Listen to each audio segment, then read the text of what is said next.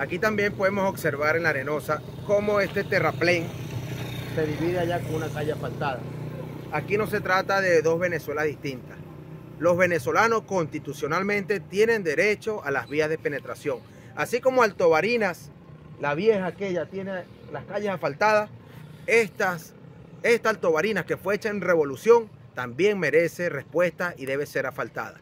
Hacemos un llamado al gobierno nacional, le dé respuesta a su pueblo. Síguenos en Instagram, arroba TV Calle Oficial.